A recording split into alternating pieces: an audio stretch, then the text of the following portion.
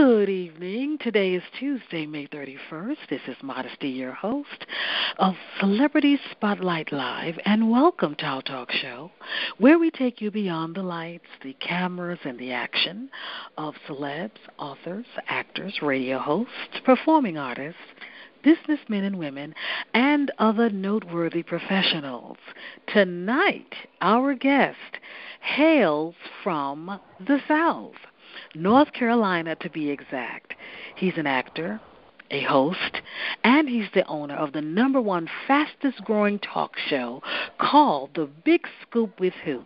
None other than Michael Cooper. How are you doing this evening, Michael? Hey, I'm doing great. How you doing? I'm doing well. Thank you for accepting our invitation and for being our guest tonight so glad that you were able to accept. We're Thank excited you. and we want you to share with us for the next 30 minutes all about your journey as an actor, a host, and also the owner of the Big Scoop uh, with Coop Talk Show. But let me start by saying this. During my tenure in high school, I was part of the drama class and we did plays like My Fair Lady, etc. and it was so much fun and sometimes I wish I had even continued uh acting or in that vein but you know how it is when you're in high school mm-hmm. you have so many different things that you want to do and want to be so i ventured off into other things but acting is so exciting. So, with that thought in mind, let's get started, Michael. Tell us, when did you first become interested in acting? Well, with me, it actually started when I was a child. Um, I actually did little school plays, and when I was inside of the school play, um, I used to act the fool. I'm not gonna lie. When I was a kid, and it was fun. Um, I had a lot of people laughing. They were like, "Man, you are a natural at this," and I backed away from it for a few years, and okay. I ended up getting in contact with um, one of my friends for a few years now, named Nick Dalmacy. He is the um, owner and director, producer, and everything for Dalmacy Film. And oh, he offered me a voiceover position. And from there, um, I actually got into a movie called Sins of the Wicked. And from there, I actually had um, had my chance to do it. And from there, it was um, it was just smooth sailing. So I'm actually starting on my third one, and okay. it's a wrap from there. Mm-hmm. That's great. So the, the you're act you're on your third you're on your third play or your third movie at this point? Third movie. Third movie. Oh, what's mm-hmm. the, what's the name of it? If you can release it, I don't. um, sure. It's called Sins of the Wicked, Sons of the Wicked, and Legacy of the Wicked. Okay, so it's like a series. Kind yes. of. Uh huh. Oh, right. We're actually okay, trying to break sounds it in. That mm-hmm. sounds like a lot of fun. So, is there a particular? It does. It sounds like a lot of fun. Is there a particular genre? Do you like uh, uh, romantic comedy, drama? Uh, you like thrillers? Uh, you like sci-fi? Uh, you like fantasy? That's something similar to like uh, Games of Thrones and things of that nature. Right. Uh, what what kind of genre do you particularly like? Believe it or not, I'm a fan of all and that means mm-hmm. um from Good drama, answer. thriller, action, all of it. It's um it is actually there's a piece of every type of genre that catches my attention. And Okay. it can be from sci-fi from the 80s or Back to the Future all the way up to now. And um, you know, action movies, you know, when it's action, that you know, it always catches people's attention because of the movement, of the fighting, the violence and everything. So, yeah, That's fan of them so all. True. That's a that's a great question. Um, let's Mhm. segue into this. Um, on the uh, l- uh, the lane of movies, as we're talking about movies, there have been recently a lot of, and there are even more to come. Uh, dramatic, I guess you could call them slave movies Right. and there are so many different opinions about uh, these types of movies. I understand both sides, uh, those who want to see them and those who don't want to see them. As it relates to uh, slave movies, what is your take on them? Um, is it a great opportunity for the person, especially if the African American, who's directing and producing, or if you were giving the opportunity to be cast in a slave movie, would you take it or would you bypass it? That's a great question. Um, to answer the first part of the question, there are pros and cons to you know doing slave movies because people in mm-hmm. school they really don't have a true Black History Month anymore. So they have to rely on movies, television to relive, not relive, but to actually know their history of what happened. Um, would I, and at the same time, I'm like, how many times can you really redo a slave movie yeah. without, yeah, telling the same story? So it's it's like a pro and a con for both sides of it. Um, would I ever do a slave movie? That's something I would really have to sit down and think of. That's um, I can watch them, but okay. I couldn't be, I couldn't play the role of Kunta Kinte and keep getting hit with a whip. I'll put it like that. I couldn't do it. um, I couldn't okay, because so you would definitely not audition. Cut. You wouldn't audition for that part right there. Okay. Right. right. Yeah, because the director would be calling cut all the time. Cause I'd be breaking the chains. Like, okay, you hit me one more time with that whip. he said I know it's a movie. Yeah. he said he'd be breaking the chains. You know, it was difficult uh for me. The, the series started yesterday and it's going to go through Thursday. Yeah. And I looked at it just a little. It was too. I I, I couldn't take it after a certain point, and I don't think I'm going to return to it. If I do, it might be just a spot check or to spot view it. Right. But to actually sit down and look at all of it again, it's graphic, and uh, as I stated earlier, there are some more coming out too. Um, uh, Birth of a Nation which there's yep. a lot of buzz about that. Uh, Nate Parker, mm-hmm. he uh, re- wrote that and directed that, so a lot of people are looking forward to that. Okay, now with that thought in mind, have you ever desired to uh, write or direct? Uh, I mean, you how long have you been in it actually? Let me ask you that first, and then we can well, you can probably answer that question better. Right. I, I've been in the business since 2012. Far as oh, okay. Um, okay. Yeah. So I've done that. Um, as far as it goes for writing and directing, I I have a I don't have a strong passion for the writing part.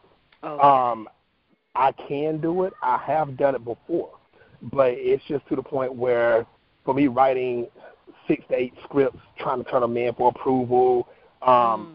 re-editing and everything like that. That that's really not my thing. I'm the person that's go hand me the script, okay, this is what I have to do. Put the camera on me. I'm ready to go.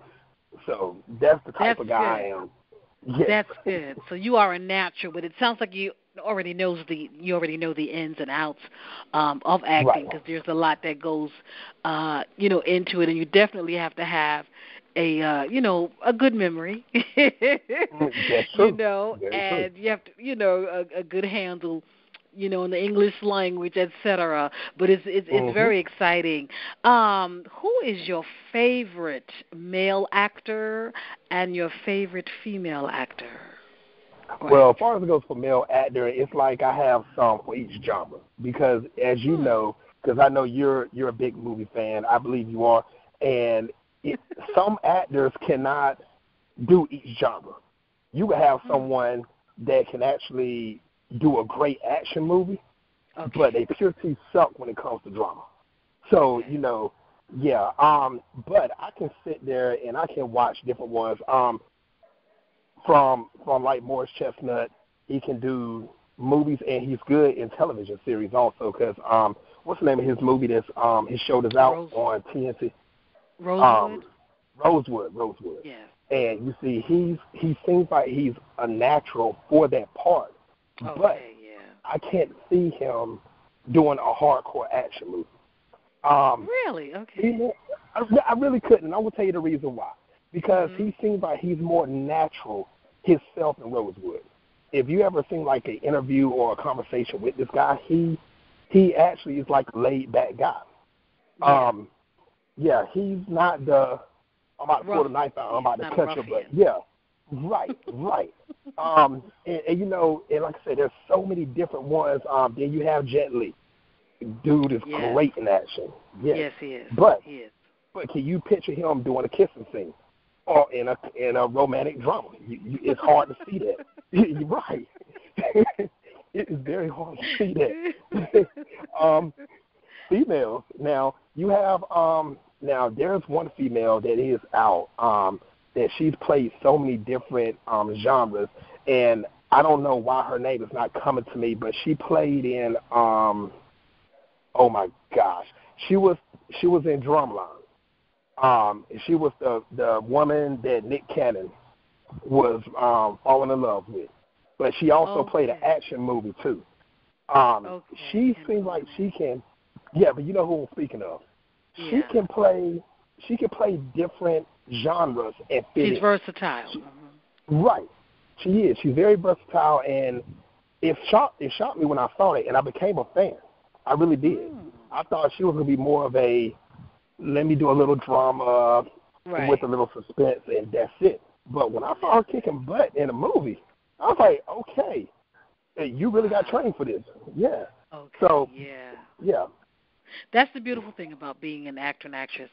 You get the opportunity to be people that you are not, and you get the Mhm. opportunity to, uh, uh, you know, not to to to to do things you normally would not do. That's the beauty of acting, and it's not easy, and that's why they call it an art, and they call it a skill, and uh, it takes you know a while to get to certain places. I mean, it takes a while to to be able to do certain genres. Like you said, every actor actress Right. cannot do um, every single drama, but every any That's kind true. and all kinds of different gen- genres. But Mhm. um, it's what, whatever you're passionate about. That is definitely the thing that you're going to ace. But uh, an actor or an actress who is versatile, their opportunities are limitless. Whereas Right. someone who is basically known, uh, people don't like to get typecast either. You know, that's like True. let's say you've o- o- you've only seen them in romantic comedies. Let's say like Martin Lawrence. The major- he's a comedian.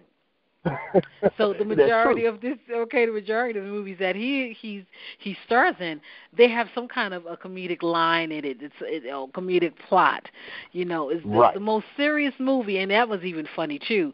That Martin Lawrence ever played in was "There's a Thin Line Between Love and Hate," and there was a Oh, lot of God, funny. yeah. That you see, there was a lot of funny parts Yeah. in that. That was funny too, but that was one of the most serious um, movies he's ever done. Okay, um, now, when did you become interested in hosting? And Oh, what kind wow. of events have you hosted? Okay. Um, I have, well, of course, you know, like you said at the beginning of the show, for everyone that's listening, I am the host of the Big Scoop with Coop. Um, and before I even get into that, um, I didn't actually start my hosting right there on my show. Um, I've actually hosted um, local things, as far as it goes for like um, parties for DJs. I wasn't Okay. a DJ, but you know, like after parties, receptions, Yes. you know, Right. I MC, did stuff like that. Um, and I was told when I was younger, I was nobody was a stranger to me because you know down in the South they actually have that cliche of Southern hospitality, and Right. I would right, and I would walk up to a stranger and just hold a conversation like it ain't nothing. And this was back in the '80s, so I'm an '80s baby. So Oh, okay. with that happening, hmm March 28th, 1980. That's actually my birthday. Um, when I learned how to actually talk and walk, I would go up there and just have conversations with people. But Mhm. the fast forward up, that never left me. My my elementary school teachers told me and told my parents actually that when I get older, I need to have a job dealing with talking because Mm. that's what I do best. That's right. you do best. Right. I, I kind of felt it insulting at first, but then I Mm. said, wait a minute, I Hmm. can do something like this. So, Yeah. um, yeah. So I, when I got older, the, the more I actually grew, the more I recognized the skill of actually having a show like like you yourself, Ma. You actually doing your thing, um, and you're really well at what you do. So you Thank know, a you. lot of people, yes, a lot of people can't do this, and people are actually nervous and scared. But um, back in 2012. Mhm. I was sitting home and I was watching the Steve Harvey show. And I was listening to the Steve Harvey morning show that morning. I was like, why? I'm sitting here in North Carolina, and you know, in certain states, if you're not in New York, LA, it's hard to actually get out there and, you know, get known. Okay. Mhm. Right. So with me sitting in North Carolina, I was like, okay, I'm in North Carolina, but I can do what Steve is doing. I'm not saying I'm the best at it, but I can do what he's doing. Right. So I went outside one day and I told my next door neighbor, I was like, I want to start a radio show. And he Mm. looked at me like I was crazy. Yeah, it just came in my mind. and it was a commercial that came on. I just put on my shoes, went outside, and told him that. I saw them. Next thing I know, two weeks later, I'm actually doing my plot for my show, trying to figure out how am I going to do my show. Wow. And next thing I know, um, about a month or two later, I said, okay, I'm getting on Blog Talk Radio, and I started my show. And my first guest was my um, movie director, Nick Dalmacy. So I said, let me start. Right. Started with him, then started with some other people that was in the movie, the cast and crew.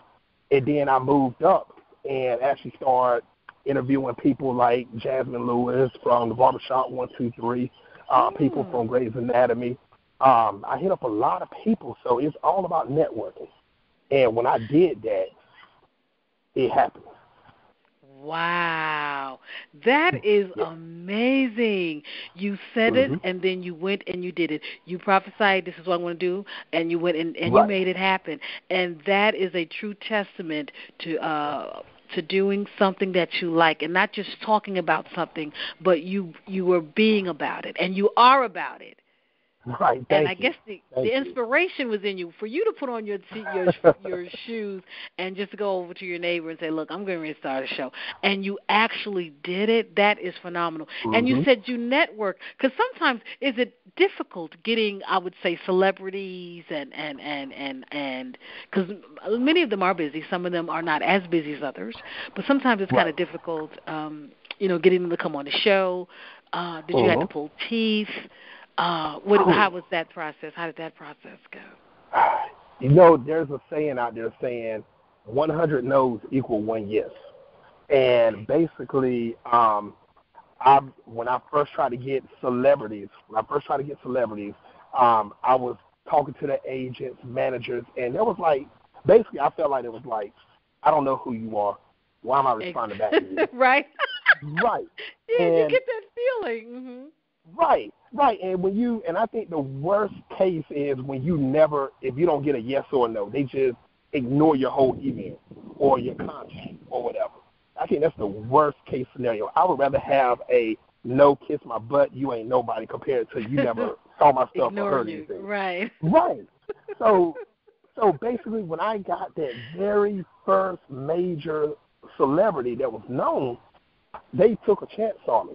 And Wow. that publicist and manager to this day, you know, call me every other week. And other agents in Hollywood, down in Atlanta, up in the NY, they're they're hitting me up and they're like, I want you to interview this person right Isn't here. that some, what a about to be- blessing? Yeah.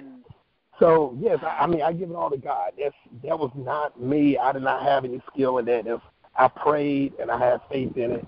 And what happened from there? The Lord opened up doors, and now I'm known on the West Coast. I'm known in Hollywood. I'm known in New York. I'm known in Atlanta, Florida. I'm getting known all the way around. And my website, everybody that's listening, when you get a chance, check out my website, thebigscoopwithcoop.com. I was on there and I saw the pictures of you sitting. Right. You there were some pictures of you even sitting with some celebrities, and there's some pictures. Right. That's what led me to ask you that question. Mm-hmm. Mhm. Right, and see, Well, and that's the thing. These people, thank you, thank you very much. But that's how it actually started for me on the Big Scoop with Coop. It's still going strong. Um, I'm in season three of my show now, so um, still got some big names coming in. I've actually talked to the original content director of HBO a few weeks ago. Um, like I said, Jazsmin Lewis. It, then just go to my website. Everybody that's listening, click on the photos or click on the episode tab. You'll see all the episodes I've done um, and everything. So yes, I mean that's what I'm doing. Modesty. I'm trying to actually make a name out here, and I feel like You're got to make it. noise. Yeah, Thank definitely. You definitely, Yeah. and I'm I'm encouraged. I am very encouraged because uh, I- I've I've interviewed quite a number of people uh, in the religious arena industry, and uh, Mhm. I'm doing more now uh, in secular because, as I stated earlier, what we do is we I do what we, I do the same thing that you do. We I interview and I talk Right. about the journey of individuals, and especially you know if they have a movie or something coming out, and um, the Mhm. best thing route for me probably to take would probably be to pick up the phone because you know I've reached out to you uh, through Twitter, and sometimes you will you might get a response, you might not. People will even follow you and not even talk to you. That's true. that's, that's very true. You, I I've don't been there. understand it. You know what I'm saying? They'll follow you before you follow them, and then when right. you DM them, you don't hear anything. So listen, it is what it is. But I'm the type of person uh, to to to keep things uh, moving and to keep things going. And uh, mm-hmm. oh, great, we have about ten more minutes, which is a good thing. Now let cool. me ask you this: Who would you most like to, if if given the opportunity to interview any two people in the world? Wow. Any two. Who would it be? Whew. You know what? And the first one I want to say is going to be a selfish show because it's for me only. And that would be my favorite female music artist, and that's Lauryn Hill. I have to wow. get Lauryn on the show. Yes, I do. Um, I would love to hear her ups and downs because you know if if you followed Lauryn Hill, you know she's had a she had ups and downs in her life, like a lot of people have. And yeah, and her music speaks through her pain and her joy. So, you know, mm-hmm. I would love to have her on the show. Um, let me see, who else in the world? Good gosh. You know what, my, you, know what, you got me on that one. It's interesting that, that you one. mentioned Lauryn Hill because I don't know if you've reached out to her recently, but this might even be a good time for her to talk uh, on Blog Talk Radio because at the mm-hmm. present, uh, she's I'm not going to say she's been getting into any hot water, but right. people have been complaining about her re- lately because really? of her uh, oh yeah oh yeah she was supposed to do a concert i'm trying to remember what state it was in and she got there maybe an hour an hour and a half late and for some oh. reason or another she's known for being very late she's not known for being tardy and then having yeah. all kinds of excuses so um i think a, a promoter even got on twitter and uh he he said some things that weren't pleasant about her i don't know if he was laughing wow. or joking but um right now yeah she's people are considering um not even going to her concerts now um, not a whole, whole lot of people, I would say. I really don't know how many in number, but she's been in the news mm-hmm. lately. She was even on the Breakfast Club, which which brings me to this. Um, you know, you know Angela, right? I call her Lady Angela. yeah, I know. We know of each other, but yeah. Okay, got you. Got you. Uh-huh. Yes, because she had wished you well. Um, I right. think a week or two ago she said, "I hope the show does great" or something like that. I thought, "Oh, that's mm-hmm. good." He's, you know, he's getting yes. around, like you said. Networking is so important, and sometimes people are like uh walls, and sometimes you have to keep knocking on the wall and knocking on the wall until it starts coming right. down. You know, many people mm-hmm. who are in the business they know that because they've done that for themselves. Okay, now the other part of the question, you said lauryn Hill, and who else? Um, overall, you know what? That is a very that's a very good question because I have a list inside my house of so many people that I want wow. to come on my show. Yeah, I, right. like in my when I say that I really don't hardly get any sleep. I, I really don't because like I put on Facebook earlier today. Um, of course, you know I told everybody I'm gonna be right here, Celebrity Spotlight right. Live. Got to. I'm definitely coming on the show. I'm glad I'm on this show. And then I was like, after that, going to the gym, got to do some stuff with my show, and I pray and right. hope I get at least five hours of sleep. And, at least. But to be truthful, right, at least. And to be truthful, it may not be happening. But the thing is, I when I'm at home and I'm not having a show or I'm not doing anything in particular, I start. I have a wish list for the people mm-hmm. I want on the show. And you see, with my show, I do talk about how people, like how you do, starting their career, their success, Their journey, give advice on how to get into their career and promote what they have going on.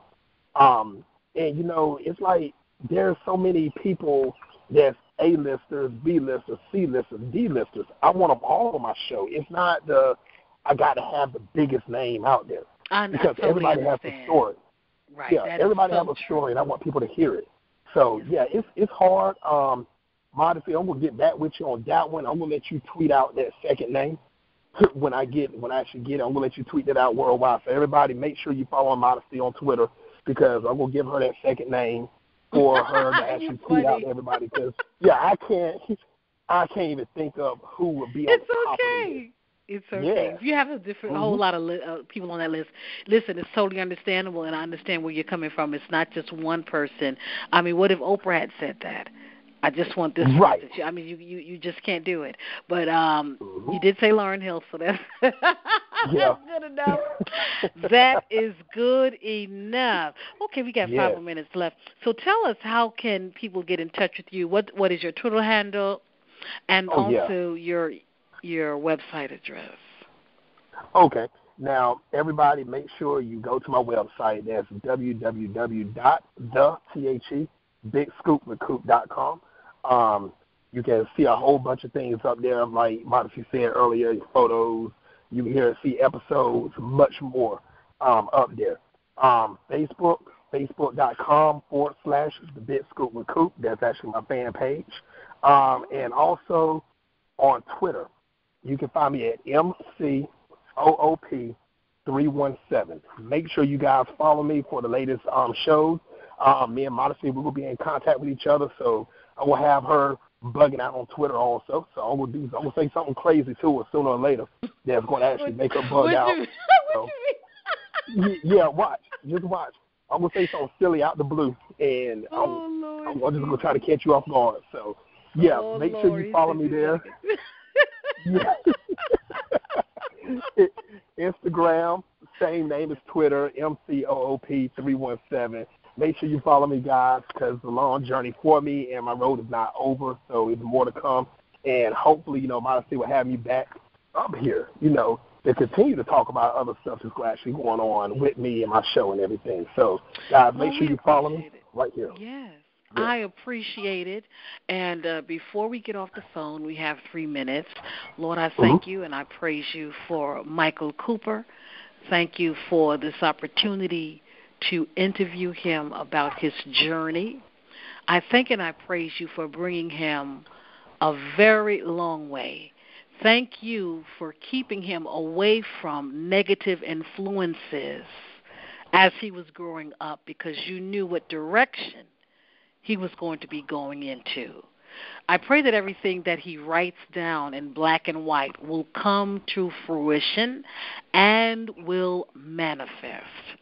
I pray that doors will open for him that he never even imagined, and even those doors that he did imagine would open for him would open for him. I pray that he will be blessed in everything that he does, and I pray that everything his hands touch will be blessed. And Father, I pray that you will bless his family members. And if there is anyone in the family at this point that he might be at odds with or who might be at odds against him, I pray that there will be reconciliation. I pray that there will be togetherness. I pray that there will be unity. I pray that peace will continue to reign, rule, and abide in Cooper's family. And I pray, Lord, that those who might not have believed in him will see even greater things than they are seeing right now. Those who may have said to themselves, haha, he's not going to make it, but never verbalized it, but thought it in their minds and in their hearts. I pray that they will see him rise as he is rising. They will see him victorious, and that they will have to repent within themselves for the things that they thought and said because he is going to make it, because he's passionate, he's determined, He's focused, he's purposed, and he is fearless. Michael Cooper will slay any giants standing in his way, just like David. Any doors that seem to be closed, He's not going to pay any attention to the no's because he knows what it's like already, but he's going to continue to, to gain ground. He's going to continue to be noticed. He's going to continue. I pray for favor for him with celebrities, favor for him with agencies, favor for him with publicists and public relation experts, favor for him even in the music industry, with singers and artists, producers, favor. Bless him in his acting career. I pray that doors will open for him in that area as well. I thank you for increasing his finances. I thank you for blessing him beyond measure. I thank you for keeping him and protecting him as he travels the breadth and length of the United States. And even if international doors open, if that's something that he wants, I pray, Father, that the doors will open across the seas in places like London, in places like Paris. With you, God, there is no ceiling. With you, there is no limitations. There's no such thing as a box when it comes to you. Thank you for blessing us. Thank you for blessing me with him with this interview. And I pray that he will continue to be blessed in Jesus' name. Amen. Thank Amen. you, Michael Cooper. Thank you. Thank you very much. Thank you for having me on the show, and I hope your show continues also to reach heights that that's beyond your measure, that you can't do I alone, that God can bring you up. Thank you. I And I agree. appreciate it. And we will see each other in Twitter land. And like you said, we will stay in touch. Of course. Thank you for having me on your show. All right. Yes. You're welcome. Have a good evening. And I'll see you in Twitter land. All right. Thank you. All right, my dear. All right. Bye-bye. Bye-bye. Bye-bye.